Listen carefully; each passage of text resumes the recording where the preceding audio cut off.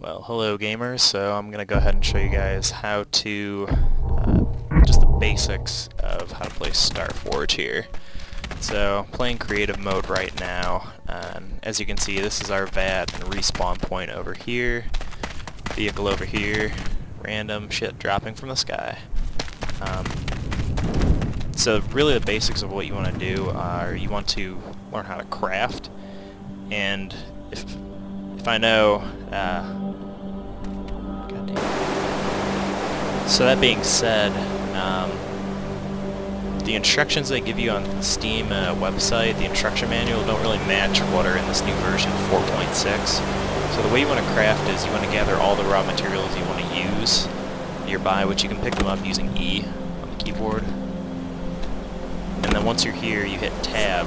That'll launch this window for the building materials, and this is a very, very counterintuitive for what you got to do here. So what you do is you right-click on what you want to build, so let's say a uh, turret. And then you have forge, and in order to build, you can either click to build one, and then if you drag right, build, build more if you have that option. And then that'll put it up in your uh, first hotkey slot. And then, so let's build some whatever this is, wood I believe. So forge, and again, if we right click on it, and then drag to the right, you'll see the number increase. So there we go, we have 500 of those building supplies. Hit tab again to exit, and we got our turret, which pretty useless in creative mode since you're not fighting anything.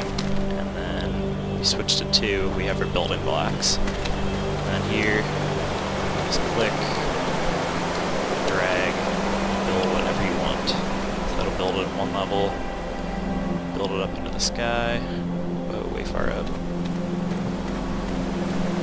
Interesting that it actually missed a few blocks on the way up, but this is an alpha version.